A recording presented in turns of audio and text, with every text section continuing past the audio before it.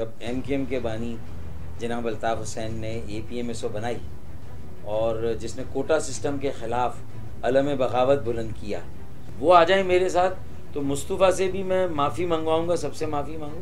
कान पकड़ अ, अपने ही बनाए हुए घर को उन्होंने अपने हाथों से मिसमार किया। कुछ नहीं होगा अंधेरों को बुरा कहने से अपने हिस्से का चिराग जलाना होगा। बिस्मिल्लाहिर्रहमानिर्रहीम। अस्सलाम वालेकुम चैनल अवेयरनेस फॉर ऑल के साथ अवेयरनेस शो में मैं हूँ आपका मेजबान उमैर आमिर मकसूदी। और मैं हूँ काजी शहबाज अहमद। दोस्तों आज हम मौजूद हैं पाकिस्तान की एक ऐसी नामवर सीनियर सियासी शख्सियत के साथ जो किसी तारुफ के तो मोहताज नहीं जिनकी शोहरत न सिर्फ़ पाकिस्तान बल्कि बैरून पाकिस्तान की जो खासी शोहरत रखते हैं। जिन्होंने अपने सियासी सफ़र का आगाज़ 1979 में all Pakistan Muhajir student organisation से किया। जो बाद एक मुनज्जम सियासी जमात मुत्तहदा कौमी मूवमेंट के नाम से मौरज वजूद में आई। और इसी सियासी जमात से उन्नीस में पाकिस्तान के सबसे बड़े शहर कराची के सबसे कम उम्र तरीन मेयर मुंतखब हुए। उसके साथ साथ विफाकी वज़ीर रहे कौमी सम मुताद मरतबा कौमी असम्बली और सूबाई असम्बली के रुकन भी रहे। मजीद ये कि 1994 से 1997 तक पाबंद सलासिल भी रहे। इनकी ता, जिनका तारुफ खासा तवील है जो किसी तारुफ के भी मोहताज नहीं वक्त को समेटते हुए हम आपकी मुलाकात कराएँगे। सरबरा तंजीम बहाली कमेटी डॉक्टर मोहम्मद फारूक सत्तार। भाई वालेकुम। अस्सलाम और जीते रहिए सलामत रहें और खुश आमदीद मेरी रिहाइश गाह पर आज आप आए हैं। अवेयरनेस प्रोग्राम को लेकर लोगों अ, की आगही को बेहतर करने के लिए, उन्हें आगही देने के लिए, इससे अच्छा बड़ा काम कोई नहीं हो सकता। और कोई टीन एज में एक कराची का नौजवान जिसका ताल्लुक सियासत से भी ना था, सियासी सब्जेक्ट से भी ना था, वो टीचर वो स्टूडेंट भी मेडिकल के थे। तो ऐसा क्या हुआ कि आपने सबसे पहले सियासत को अपना सियासी करियर समझा? उसके अलावा एक लसानी बुनियाद पर बनने वाली तंजीम या एक कौमी बुनियाद पर बनने वाली तंजीम का हिस्सा बने। देखें ये अ, मेरे तो आबा अजदाद में भी किसी ने सियासत नहीं की। तो ज़ाहिर है दूर दूर तक इस बात का इम्कान नहीं था कि मैं सियासत को अ, करियर के तौर पे अपनाऊँगा और अ, यही इसी से मैं ज़िंदगी भर के लिए जुड़ जाऊँगा। लेकिन मैं समझता हूँ कि ये अल्लाह ताला का डिज़ाइन होता है कि किसी मुल्क कौम और माशरे में जब एक खला होता है तो अल्लाह ताला, मैं समझता हूँ, ऐसे हालात पैदा करता है और ऐसा बंदोबस्त होता है कि जब जुल्म और नाइंसाफ़ी हो, मैरिड का कत्ल हो रहा हो और उसकी चक्की में मासूम, बेगुना, बहुत तालीम याफ्ता नौजवानों का मुस्तकबिल तारीख हो रहा हो तो फिर कुछ ना कुछ लोगों को आगे आना पड़ता है। तो जब एम के एम के बानी जनाब अल्ताफ़ हुसैन ने A P M S O बनाई और जिसने कोटा सिस्टम के ख़िलाफ़ अलम बगावत बुलंद किया। क्योंकि मैं यहाँ वाजे कर दूँ, ना शायद एम के एम के बानी के दिल में कभी, ना शायद हम में से कभी किसी के दिल में अपने सिंधी भाइयों के लिए एक दिन के लिए भी कोई नफ़रत या कोई असबियत की सोच आई हो। लेकिन ये एक हकीकत है कि कराची हैदराबाद और सक्कर से ताल्लुक़ रखने वाले तलबा और तालबात जो इंटरमीडिएट करके निकलते थे पेशा वराना तालीमी इदारों में उनके दाखिले के दरवाजे बंद थे। अच्छा फारूक भाई, ये भी कहा जाता है कि एक बुशरा जैदी के एक्सीडेंट का केस हुआ था तो उससे उसको एमक्यूएम ने उसको इस्तेमाल करके अपने उसको अपने उरूज के लिए इस्तेमाल किया तो इसके बारे में क्या कहेंगे आप? नहीं एम क्यू एम ने उसको अपने उरूज या उठान के लिए इस्तेमाल नहीं किया था। लेकिन एम किम अपनी जगह पे कायम थी और कायम हो गई थी उससे पहले। लेकिन उस वाक़े से भी जो मज़ीद पहले से जो लोगों का एहसास महरूमी था वो और ज़्यादा गहरा हो गया। और उस वाक़े ने ट्रिगर किया उसने ट्रिगर किया सिर्फ़। तो लोगों के पास भी उस वक्त दस्तियाब फिर प्लेटफॉर्म यही था। और सब इस शहर के जो फ़वाद हैं वो तो उठाने के लिए तैयार हैं। पर इसको ओनरशिप देने के लिए कोई तैयार नहीं। और जमात इस्लामी जे यू पी जो उस वक्त अनदाता थी बिला शिरकत गैरे की मालिक थी, कराची की नुमाइंदगी उनके पास थी। उन्होंने भी कराची वालों को इस्तेमाल तो किया। जुल्फ़ार अली भुट्टो शहीद की हुकूमत का धड़न तख्ता करने के लिए फिर एक मार्शल लॉ का दौर आता है। तो फिर उस मार्शल लॉ की हुकूमत में उन्होंने वजारतें ले ली और कोटा सिस्टम ख़त्म नहीं हुआ, उसके खिलाफ कोई तहरीक नहीं चली। तो पीएनए की तहरीक में तो कोटा सिस्टम के खिलाफ कहा जाता था। लेकिन जब पीएनए की तहरीक एक वहाँ पहुँच गई अपनी मंजिल पर भुट्टो जो है वो जुल्फ़ार अली भुट्टो शहीद गिरफ़्तार हो गए। तो और वो अपने अहदे से हटा दिए गए। तो आपने तो सिंध के शहर के लोगों को फिर हालात के रहम करम पे छोड़ दिया, उन्हीं पॉलिसियों के रहम करम पे छोड़ दिया। और जियालत के ज़माने में भी वो कोटा सिस्टम कायम रहा तो फिर वो इस्लाम, और इस्लाम में इंसाफ और मेरिट, वो सारी बातें तो वहीं रह गई। तो इसलिए वो खला कायम रहा एहसास महरूमी एहसास बेगानगी में बदल रहा था। एहसास अदम तहफ़ में बदल रहा था। तो फिर वो बुशरा जैदी के वाक़े ने लोगों को एक प्लेटफॉर्म की तलाश की तरफ़ रवाना किया। और उन्हें अगर उस वक्त कोई प्लेटफॉर्म मिला तो वो एम क्यू एम पहले से मौजूद। वो जहनी तौर पर तैयार हो गए थे किसी ऐसे प्लेटफॉर्म के लिए।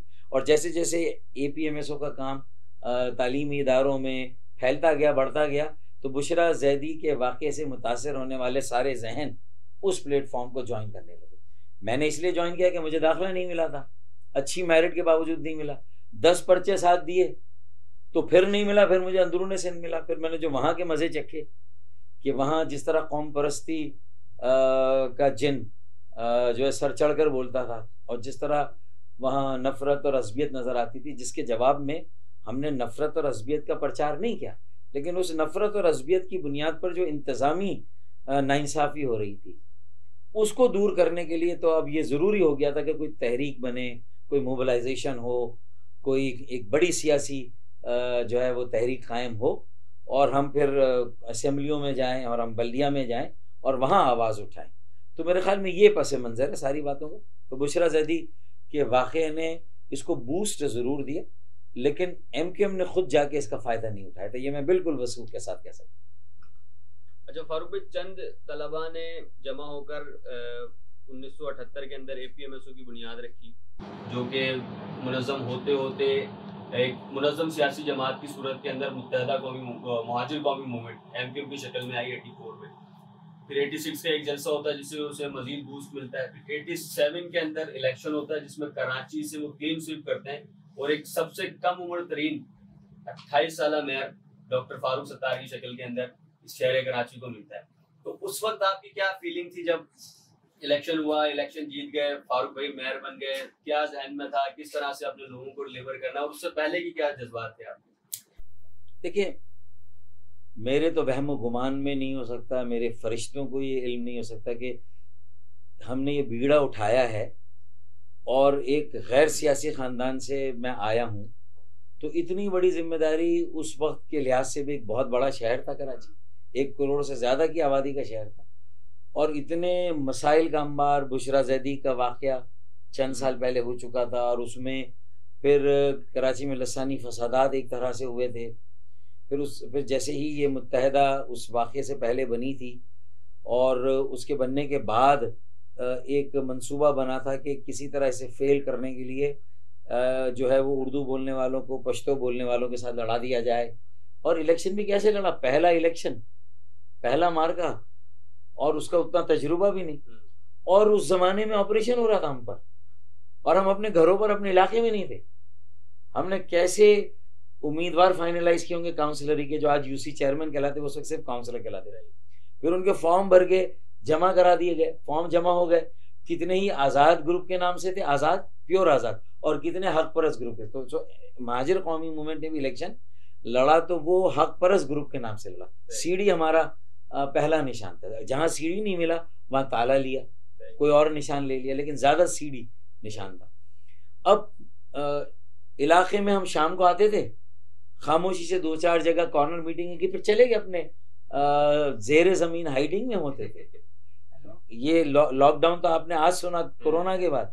हम तो कई मरतबा एम के साथ वाबस्ता होने के बाद। हाइडिंग में जाना, जेर ज़मीन जाना तो ये तो बहुत मरतबा हुआ। तो शुरू वहाँ से हुआ। तो हाइडिंग में रह के इलेक्शन लड़ा। और फिर उस इलेक्शन में जो अंदाज़ा उससे पहले चूँकि जलसे बड़े हो चुके थे एम के एम के बानी ने निश्तर पार्क में पहला जलसा छियासी में आठ अगस्त बारिश हो रही मौसलाधार कोई अपनी जगह से टस से मस नहीं हुआ। फिर हैदराबाद जा रहे हैं तो रास्ते में ड्रग माफिया के लोगों ने हमला किया कारकुनों को हम हामियों को शहीद किया। आ, हमारे जलसा गाह पर हमला हुआ। पक्का किला में वहाँ शहीद किया लेकिन फिर भी बहुत बड़ा जलसा हुआ तो इसका मतलब और फिर वहाँ से वापसी पर एम के एम के बानी की गिरफ्तारी हो गई तो ये सारे इम्तिहान से गुजरने के बाद भी लेकिन चूँकि जज्बा था हम्म। नौजवान थे एक वलवला था और कुछ करने कुछ कर गुजरना था तो फिर उसके बाद अल्लाह ताला ने भी लोगों के दिलों में ये बात डाली एहसास महरूमी इतना उनका गहरा हो चुका था कि उन्होंने भी ये महसूस किया कि जमात इस्लामी जे यू पी हमारे मसाइल का हल नहीं है अब एम क्यू एम ही हमारे मसाइल का हल है। और एम क्यू एम के बानी जेल में हैं और बानी के जेल में होते हुए इलेक्शन लड़ना ये भी एक बड़ा मार्गा था। तो ऐसे लोगों ने कतारें लगाई थी पोलिंग स्टेशन पर कि आप जिसका तस्वुर नहीं कर सकते। और इनकलाब नज़र आ गया था। और शायद हमें अल्लाह से तो थी उम्मीद थी ऐसा होगा। लेकिन फिर भी हमारे लिए भी वो मंजर जो था, वो आँखों में आँसू आ गए थे हम सब की। जिस तरह मैं पोलिंग स्टेशन जा रहा था, जिस तरह लोग वहाँ पोलिंग स्टेशन पर हमें रिसीव कर रहे थे तो बस वो जज्बा था जो शायद पाकिस्तान कायम हुआ था, उस वक्त जो जज्बा था, वही जज्बा। था अल्लाह ताला ने नवाजा, बन गए एम क्यू के बानी जेल में हैं सलाह मशवरा हुआ, मरकज़ी कमेटी में नाम गए कुछ, आठ दस नाम गए होंगे, मेरे छः नाम गए थे। तो मुझे लगता है कि और बीच में एक बात आपको उनमें से कुछ नाम याद है जो दस नामों के अंदर शामिल थे? देखें राजिक खान का नाम था हसन अख्तर रिजवी साहब का नाम था हसन इमाम थे एक ब्लॉक सोलह फेडरल एरिया के उनका नाम था। इसी तरह हम्म, एक दो लोगों का और नाम था। तो काफ़ी लोगों के नाम थे उसमें। और मैं भी यही उम्मीद कर रहा था कि लेकिन मुझे नहीं पता मेरा नाम गया नहीं गया। लेकिन जब जो एम के बानी थे, उन्होंने जो खुराए फ़ाल है, वो मेरे नाम पे है और रबता कमेटी, जो मरकज़ी कमेटी ने उसको अप्रूव किया। मतलब मुझे इलेक्शन से एक रात पहले, यानी के एम सी के ऐवान में पोलिंग होती, मंतखब शुदा काउंसलरों के दरमियान। एक रात पहले बुलाया गया और मुझे मरकज़ी कमेटी ने, अजीम अहमद तारिक ने और इमरान फारूक ने बताया कि भाई तो मेरे तो पैरों के नीचे ज़मीन निकल गई। और उस वक्त का माहौल ये था कि मुझे काउंसिलर नहीं बनना हम हाथ पैर जोड़ते थे अच्छा। तो मेयर कैसे बनूँगा? मैंने मेयर के लिए भी हाथ पैर जोड़े लेकिन आ, मुझे आ, जो है वो मेरी एक ना सुनी गई। और फिर मैं घर पे नहीं रुका मैं कहीं और रुका वहाँ से तैयार होके गया एक दोस्त के यहाँ से। और सुबह तक खबर लीक नहीं होती एक अखबार में आ गया कि फारूक सत्तार मेयर और राजे खान डेप्यूटी मेयर होंगे। उसे पता नहीं कैसे ये खबर हुई लेकिन हमारी ये शहरत थी कि हमारी खबरें लीक नहीं होती इतना अच्छा डिसिप्लिन जो उसके बाद भी कई सालों तक तो कायम रहा लेकिन ये वाली खबर लीक हो गई थी। तो फिर ज़ाहिर है कि सब कैमरे मेरी तरफ़ आने लगे जब मैं वहाँ पहुँचा और राज खान की तरफ़ भी। तो लेकिन मुझे तो पता था राज खान भाई को भी शायद लेकिन बाकी लोगों को नहीं पता था। हम्म। तो खैर फिर वहाँ इलेक्शन हुआ हमें नॉमिनेट किया गया तो पता चल गया कि हमें में और हम बिला मुकाबला मंतखब है हमारी जो अपोजिशन थी उसकी ताकत थी वन थर्ड हम टू थर्ड थे। लेकिन उन्होंने कोई कैंडिडेट नहीं दिया और हम अनअपोज आ गए। तो लैंडस्लाइड विक्ट्री इलेक्शन में और फिर अनअपोज आ जाना इनडायरेक्ट इलेक्शन में एक बड़ी बात थी। एक तारीख रकम हुई थी। फिर अट्ठाईस साल की उम्र में मुझे मेयर बनाए बनाना ये भी एक बड़ी बात थी। Guinness book of world record में भी शायद इतने बड़े शहर का इतना कम उम्र मेयर कहीं और दुनिया में नहीं है। फारूक भाई आज आप भी बात कर रहे हैं कि हम 84 वाली एम को दोबारा बहाल करेंगे, ऐसे लोग लाएँगे, वो पॉलिसियाँ लाएँगे, वही नज्म जब्त लेकर आएँगे। तो माहौल कुछ उस तरह का है भी, अभी आपने ज़िक्र किया कि उस वक्त लोहा गर्म था, बस हमने चोट उसके ऊपर मारी और बूस्ट किया। अभी पानी भी दूर है, लोग भी महरूमिया, उस तरह से वो सारी चीज़ें अपनी जगह पर हैं ऑपरेशन भी हुआ है। लेकिन एक चीज़ जो क्या आप ये समझते हैं कि लोहा अभी गर्म है, उसके ऊपर छूट मारी जाए तो 84 की तरह बूस्ट कर जाए देखिए जिन हालात में लंदन से पार्टी को अलग करना पड़ा 22 अगस्त 2016 वो सबके इल्म है। वहाँ अगर मुल्क के खिलाफ नारे लगते हैं तो उसके रिएक्शन में यहाँ हज़ारों बेगुनाह लोगों को गिरफ़्तार किया जाता है। और उनकी चालीस साल की मेहनत की तबाही और बर्बादी भी बिल्कुल वाज नज़र आ रही नविश्ता दीवार। तो मैंने तो अपनी चालीस साल की जो उस वक्त पैंतीस साल हुए थे मुझे तो पैंतीस साल की जो मेरी मेरी मेरी जो सियासी जो मेरा तजुर्बा था उसका खुलासा ये था कि इस वक्त बेहतरीन दानिश का फैम फ़हम फिरासत का मुजाहरा करना बिल्कुल। मैंने कुछ साथियों ने जो मेरे पास आ गए थे मशवरा किया और हमने लंदन से एम को अलग करने का फैसला किया और अपने हाथों में हमने बागडोर ले ली। तो मैंने कहा कि भाई हम चार पाँच आदमी एहतसाब के लिए कारकुनों की अदालत में जाए। दस हज़ार कारकुनों को जमा करते हैं सब अपने गोशवारे दें कि हमारे पास क्या है क्या नहीं है। कुरान पे हल देते हैं ताकि हमारी पार्टी पर कारकुनों को और फिर ये खबर जाएगी तो आवाम का अतमाद भी आए कि भाई ये जो एम के एम के साथ वो लेगेसी है जिसे कब्जा ज़मीन का चाइना कटिंग कहते हैं वो अच्छे मकसद के लिए भी आबादकारी के नाम से शुरू हुई और चाइना कटिंग के नाम पे ख़त्म हुई और उसमें कितने लोगों को नवाज़ दिया गया? तो क्या पचास हज़ार खानदान तीस सालों में बन गए? चार लाख अफराद, अगर हर खानदान में आठ आदमी, चार लाख अफराद बन गए तो क्या तहरीक पचास हज़ार खानदानों को आठ लाख अफराद को बनाने के लिए बनी थी? और उनके जो सुरखैल हैं, जो उनके बड़े हैं, जो शहरी वडेरे जागीरदार हैं तो ये सोचना है तो अगर इसे चौरासी की एमकेएम नहीं बनाएँगे तो फिर तो वो सत्रह सीटें एमकेएम के बानी के दौर में किसी तरह आपने ले ली और उन्हीं के दौर में 2013 में बचा भी ली। हम्म। लेकिन अब ना बचेंगे भाई आप। अब ना सीटें बचेंगी ना आप बचेंगे। मौजूद है। मौजूद है ना? और आपका बिगाड़ तो मतलब एक आईने की तरह आपके सामने आपको नज़र आ रहा है कि भाई आप आप तो अगर आप अपना एक्सरे नहीं देखना चाहते हैं, मोर की तरह मस्त रहना चाहते हैं और अपने बदनुमा पैरों में नज़र नहीं डालना चाहते तो आपकी मर्ज़ी। तो मैंने बदनुमा पैरों पर लोगों का नज़र डालें, इनको धोएँ, इनको ठीक करें और बुनियाद को मज़बूत करें और आवाम से दोबारा अपने आप को रिकनेक्ट करें। उनमें दोबारा एतमाद पर तो एहतसाब का अमली है करप्शन के खिलाफ तहरीक को खड़ा करना। ये जो ठेके दिए जाते हैं ठेकेदारों को एम के एम के साथ जोड़ दिया जाता है। ये हमारी शनाख्त थोड़ी हमारी शनाख्त तो मौलाना मोहम्मद अली जवाहर की तहरीक खिलाफत थी सर सैद अहमद ख़ान की जो इल्म आगही से लोगों को आग, आगाह करने की तहरीक थी घर घर इल्म के तालीम के चराग जलाने थे। हम तो पता नहीं कहाँ से कहाँ निकल गए। तहजीब हमारी ताकत थी लेकिन हमने ताकत को अपनी तहजीब बना लिया। तो उसके नतीजे में हमारा बुरी तरह से डाउनफॉल शुरू हुआ। फिर हमें ये अच्छा नारा लगा रहे एम के एम के बानी के पीछे रियलिज्म प्रैक्टिकलिज्म लेकिन खुद हकीकत पसंद नहीं है। उस हकीकत को नहीं देख रहे कि बिल्ली खड़ी है तुम कबूतर की तरह आँखें बंद करके बैठे हो। तो कब तक बचोगे? तो 2018 में वो कसर भी पूरी गई। ये अल्लाह का शुक्र है कि ब्लेसिंग इन डिस्गाइज हुई कि जहमत की आड़ में रहमत हो गई कि मेरा निकालना बुरा अमल था। लेकिन मेरी बचत हो गई कि मेरी सरबराही ले ली किसी और ने।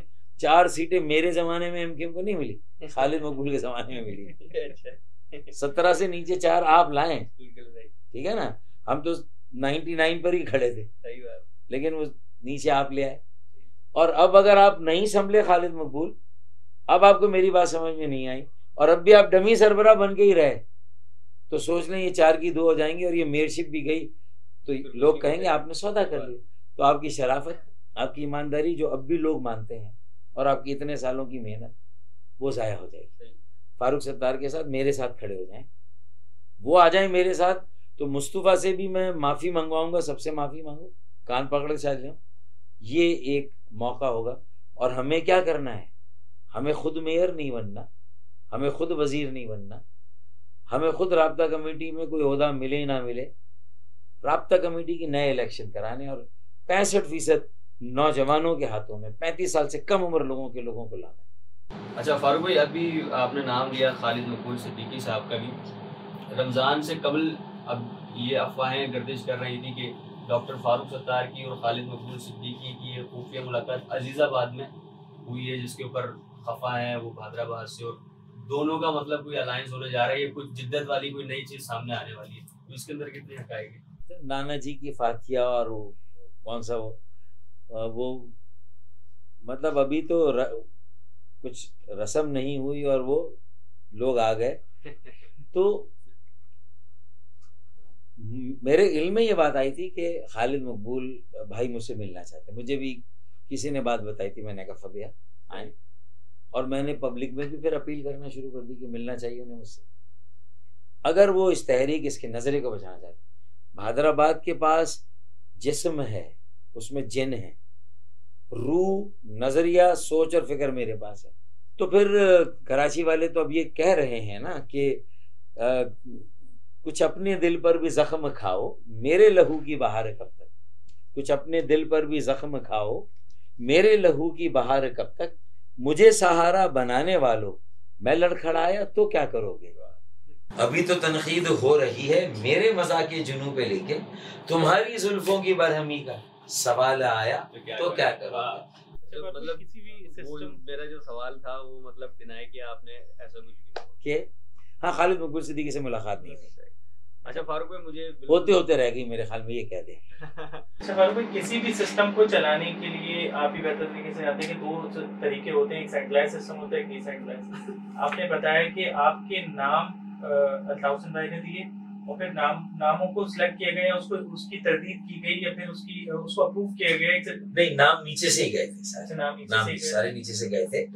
उन्होंने उसमें से ये नाम मेरा सवाल ये है कि एमक्यूएम में बजाहिर तौर पे लगता था कि एक सेंट्रलाइज सिस्टम है और अदा हुसैन जो डिसीज़न लेते हैं वही इम्पोज होता है।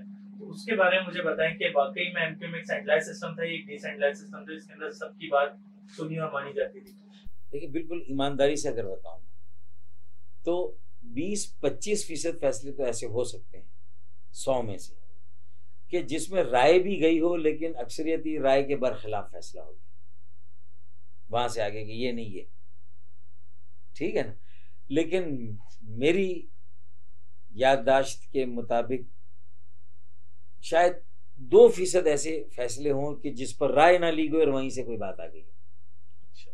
ये तो अठारहवीं तरमीम का जो मैं उनकी तरह से हुआ था? जो गलतियाँ फहूश और संगीन गलतियाँ जिसका भुगतान आज पूरी कौम को पूरे मुल्क को उठाना पड़ रहा है और महाजरों को खासतौर पर कराची को वो अपनी जगह पर है। ये वाली सारी बात मैं उनका मुकदमा नहीं लड़ रहा। लेकिन जो फैक्ट है वो मैं कहूँगा कि दो फ़ीसद से पाँच फ़ीसद चले मान ले फैसले ऐसे होंगे जो उन्होंने खुद किए और मुसलत कर दी। लेकिन पचानवे फ़ीसद फैसलों में राय ली गई। ये और बात है कि उनमें से भी बीस फ़ीसद फैसले ऐसे हैं कि जिसमें अक्सरियती राय को नहीं मानकर उन्होंने अपनी राय को मुसलत किया अपने फैसले को किया। लेकिन बाकी तो ज़्यादातर फैसले तो अक्सरियती राय की तरमीम को हम किस फिगर में लेंगे ईमानदारी की बात है। उन्होंने इसकी राह हमवार की उन्होंने। और जब उसके और जब हमने तो इलेक्शन ही लड़ा था 2008 का और 13 का सूबाई खुद मुख्तारी के एजेंडे में। बिल्कुल। तो जब आप लड़ रहे सूबाई खुद तो अठारहवीं तरमीम तो सूबाई खुद मुख्तारी। तो ये भी याद रखें कि अठारहवीं तरमीम बुरी नहीं है इकतदार इख्तियार का नहीं। असल में जो मरकज़ के लिए मसला हुआ है, जो कुछ एक कौम परस मेरे महाजिर अमेरिका, कनाडा से बैठकर मुझे और हैदर अब्बास रिजवी भाई को जो लान तान करते हैं, वो भूल, वो मिस्टेक कर रहे हैं, वो दुरुस्त कर लें। असल मसला वसाइल नीचे जाने से हुआ। और वो क्या हुआ कि अठारहवीं तरमीम के साथ साथ एक सातवां कौमी मालियाती कमीशन अवार्ड आ गया। उसने बासठ फ़ीसद वसाइल सूबों को दे दिया अड़तीस फ़ीसद मरकज के पास। है पहले बासठ फ़ीसद मरकज के पास थे अड़तीस फ़ीसद दीजिए अरे उसका गम खाए जा रहा है मरकज को। और उसकी वजह से कराची सफ़र कर रहा है। अठारहवीं तरमीम से कराची नहीं कर रहा। हाँ दो एक तो ये सातवां कौमी मालियाती कमीशन और दूसरा जो एक्शन था वो मुशरफ के ज़माने का बल्दियाती कानून ख़त्म किया पंजाब ने। बलूचिस्तान ने और सिंध ने और जो 2012 का कानून आया, उसमें जितना डिसेंट्रलाइजेशन हुई थी, वो ख़त्म हो गई। अगर वो वाली डिसेंट्रलाइजेशन रहती, इकतदार की मुंतकली निचली सतहों पर तो अठारहवीं तरमीम बेस्ट तरमीम थी। अच्छा फारूक भाई, एक सवाल मैं आपसे करना चाहूँगा और मैं चाहता हूँ कि इंतहाई कम वक्त के अंदर शॉर्टली आप उसके ऊपर कमेंट करें कि आज का जो नौजवान तबका है स्टूडेंट पॉलिटिक्स के अंदर इन्वॉल्व हैं, कुछ नहीं है, लेकिन आना चाहते हैं। फिर बैक एंड पे उनके फैमिली प्रॉब्लम होते हैं, कुछ कुछ कमाने धमाने के मामला होते हैं। तो उनके लिए क्या पैगाम है? मतलब एक तरफ़ उनको नौकरी का, कारोबार का, काम का मसला है, दूसरी तरफ़ ये बेड़ा भी उठाना है, तहरीक में भी आना है, सियासत में भी आना है।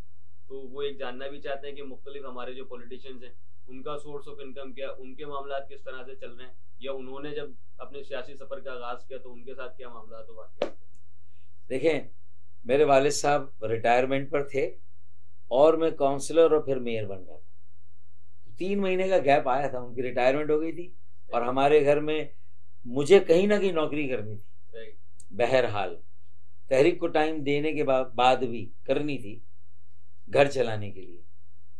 लेकिन देखिए अल्लाह तवक्ल अगर करें, अल्लाह ताला आपकी बुनियादी ज़रूरतों को पूरा करेगा। रिज रोज़गार आपका, अगर आप ये बीड़ा उठा लें, हमें लोगों की खिदमत करनी है। तो मेरे सामने था कि मैं पोस्ट ग्रेजुएशन के लिए किताबें खोलूं और नौकरी करूँ और तहरीक को भी चलाऊं, या काउंसलरी का इलेक्शन लड़ लूँ और मेयर बन जाऊँ। मुझे तो मेयर बनने की गारंटी नहीं थी। लेकिन फिर मुझे मेयर बना दिया गया। तो मेरे वालिद साहब को जितनी तनख्वाह मिलती थी, उससे डबल तनख्वाह मुझे मिलने लग। गई तो जब मेरे हालात इस तरह भी बदलने लगे तो मैंने कुछ सेविंग करना शुरू की क्योंकि हम तो उस तनख्वाह में गुजारा कर रहे थे। वो सेविंग करके मेरे दोस्तों ने ज़बरदस्ती मुझसे कुछ शेयर डलवा दिए कुछ कारोबार में जो मुझे यकीन नहीं कि वो शेयर डाले नहीं डाले उन्होंने। चार लाख पाँच लाख दो लाख तीन लाख मुख्तलिफ़ वक्तों में मुझसे लेके उन्होंने डाल दिए। अब वो मुझे महीने के अगर डेढ़ लाख देते हैं दो लाख देते हैं तीन लाख कभी देते हैं कभी एक लाख भी देते हैं। कि भाई उनका मुनाफा हो रहा तो दे रहे नहीं हो रहा तो नहीं दे रहे हाँ, तो मेरा ये रोज़गार मेरी आमदनी का ये ज़रिया जो मैं किसी से छुपाता नहीं मेरा घर भी से चलता है मेरा सिस्टम भी से चलता है। ठीक है ना? इसको अब हम अख्ताम की तरफ़ लेकर जाते हैं और आखिरी सेगमेंट की तरफ़ आते हैं जिसके अंदर कुछ नाम शहबाज भाई की तरफ़ से कुछ मेरी तरफ़ से आएँगे जिसके ऊपर कोई भी एक जुमला कोई ख्याल कोई आपके जहन में हो तो वो आप उसके ऊपर करें। तो मैं इसका आगाज़ कर लेता हूँ यहाँ से कि डॉक्टर आमिर लियाकत उन्हें अब मेच्योर हो जाना चाहिए। और इतनी बड़ी जिम्मेदारियाँ संभालने के बाद मेच्योर नहीं होंगे। तो उनकी बात की जो क्रेडिबिलिटी और जो साख है वो मुतासर। तो मेरा भाइयों वाला मशवरा है कि मेच्योर हो जाए जो बात कहें उस पर कायम रहे। और अपनी काबिलियत से लोगों को फ़ायदा पहुँचे। बड़े हो जाए अब बड़े हो जाए। अगला नाम नाम वही शख्सियत अलग आमिर खान साहब? आमिर खान साहब। देखिए वो माने ना माने उनके टीवी इंटरव्यूज़ से उनके ऊपर एक बैगेज है। उन्होंने कहा हम आलायकार बने थे। तो आप अगर कल आलायकार बने थे तो आज भी किसी का आज भी किसी का आलायकार बन सकते सवाल निशान है। तो इसका मतलब है कि आप पूरी तंजीम आप एक बड़े काफिले की क्यादत नहीं कर सकते। आपकी एक्सेप्टेबिलिटी में एक रुकावट है। तो किसी को अब्बू मान ले एक घर में एक अब्बू होता है। बिल्कुल। एक घर में एक से ज़्यादा अब्बू नहीं होते। पहले मैं अब्बू था तब भी वो अब्बू बने। अब खालिद मकबूल अब्बू है तब तब भी। मैं कहता हूँ आप ताया अब्बू बन जाए चाचा बन जाए। ताया अब्बू एक से ज़्यादा हो सकते हैं। अब्बू एक होगा एक घर। तो किसी एक को बड़ा भाई मान ले यार। मुस्तफ़ा कमाल भाई। आ, सियासी तरबियत की ज़रूरत है उन्हें। और अभी छोटे हैं तो सियासी तरबियत से जो आ, कभी उनकी ज़बान उनके काबू में नहीं रहती और आ, कुछ ऐसी बातें आ जाती जिससे लोगों की दिल आज़ारी हो जाती। तो मेरे ख्याल में उन चीज़ों की ट्रेनिंग लेंगे आगे बढ़ेंगे तो चीज़ें ठीक हो सकती हैं और आ, किसी वो भी एक बड़े धारे में आए मतलब ये कि नेचुरल लीडरशिप की अगर बात डेढ़ इंच की मस्जिद ना बनाए। नेचुरल लीडरशिप की बात की जाए तो क्या मुस्तफ़ा कमाल नेचुरल लीडर हैं?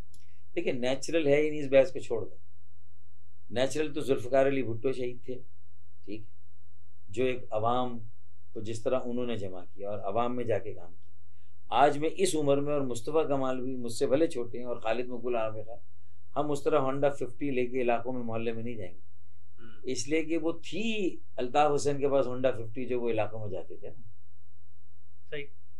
गाड़ी तो थी नहीं ना। बिल्कुल। अब हम क्या ये ड्रामा करेंगे कि हम अपनी गाड़ियों को छोड़ के मोटरसाइकिल फिर हमारी एज वो इजाज़त देगी कि हम बारह घंटे इस तरह मोहल्लों में जाएँ कारकुनों को जमा करें? तो इसका मतलब है कि अब हमें अपनी अब हम हम उस लेवल पे शायद नहीं जा सकेंगे। क्योंकि वो 25 साल से उन्होंने मेहनत की तो वो उस लेवल पे गए। एम के बानी बिल्कुल। तो हमें ये नहीं सोचना कि हम नेचुरल है या नहीं है। अपने हाथों में लिए शम में यकी आएँगे। अपने हाथों में लिए शम में यकी आएँगे। अब पैगंबर नहीं आएँगे हम ही आएँगे। बानी एम के अल्ताफ हुसैन। बानी एम के बानी थे और बानी रहेंगे क्योंकि उन्होंने बनाई थी भाई। नेल्सन मंडेला ने अगर अफ्रीकन नेशनल कांग्रेस बनाई थी तो ये एजाज तो उनसे कोई नहीं लेकिन अपने ही बनाए हुए घर को उन्होंने अपने हाथों से मिसमार किया। ये कहानी उनकी। उनका सियासी मुस्तकबिल क्या है? भाई देखें ये तो अल्लाह ताला जानता है। या अल्लाह के कुछ ख़ास बंदे शायद वो जानते हो बाकी मैं तो उस पर कोई फोरकास्ट नहीं कर सकता। लेकिन मुझे महसूस होता है कि वो जिस तरह एक संगीन गलती की पाकिस्तान के ख़िलाफ़ नारे लगाए जिसको शायद कोई भी कबूल नहीं कर सकता। अब उससे ज़्यादा रोज़ाना उनके जो भी खिताब हो रहे हैं, उसमें वो यही बात कर रहे हैं, मोदी की बात कर रहे हैं, इंडिया की बात कर रहे हैं और मुल्क के ख़िलाफ़ बात कर रहे हैं, मुल्क दुश्मनी की बात कर रहे हैं। तो मेरे ख्याल में तो वो अपने लिए और उन्होंने तो कोई रास्ता नहीं छोड़ा कि उनकी वापसी का कोई इम्कान। चले, हमारे साथ बहुत शुक्रिया फारूक भाई, आपने अपना कीमती वक्त निकाला हमारे लिए। हमारे साथ मौजूद थे सरबरा तंजीम बहाली कमेटी मुतहदा पाकिस्तान डॉक्टर मोहम्मद फारूक सत्तार साहब, जिनसे हमने कुछ तल कुछ नरम, कुछ मालूमती गुफ्तु की, कुछ माजी की माजी के हवाले से गुफ्तु की, कुछ हाल के मुतालिक, कुछ मुस्तबिल के मुताबिक अपना ख्याल रखिएगा, अपने दोस्तों का ख्याल रखिएगा रखिएगा। अवेयरनेस फॉर ऑल के चैनल पर सब्सक्राइब करें लाइक करें वीडियो को शेयर करें। बहुत शुक्रिया, खुदा हाफिज।